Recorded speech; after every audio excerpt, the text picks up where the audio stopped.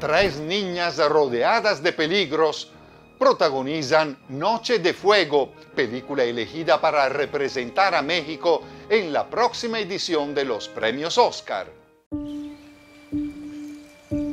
Una novela de Jennifer Clement, inspirada en una realidad desgarradora, es el punto de partida de este drama intenso y sutilmente inquietante.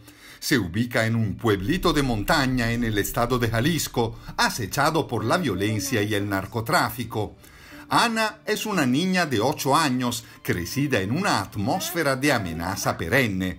Su madre la obliga a llevar el cabello muy corto, como varón, para evitar que ella sea secuestrada y desaparezca como sucede con frecuencia cada vez mayor a las muchachas de la zona.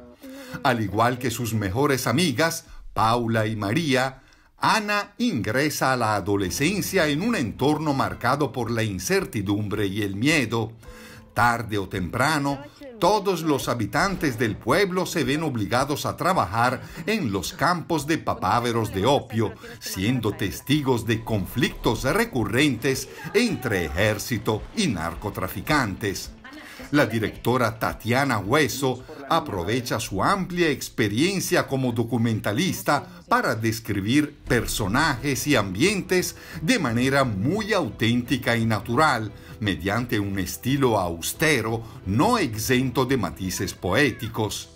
Actuaciones solventes, destacando el desempeño espontáneo de las pequeñas protagonistas, redondean la propuesta que cautiva a pesar de algunas ligeras caídas de tensión.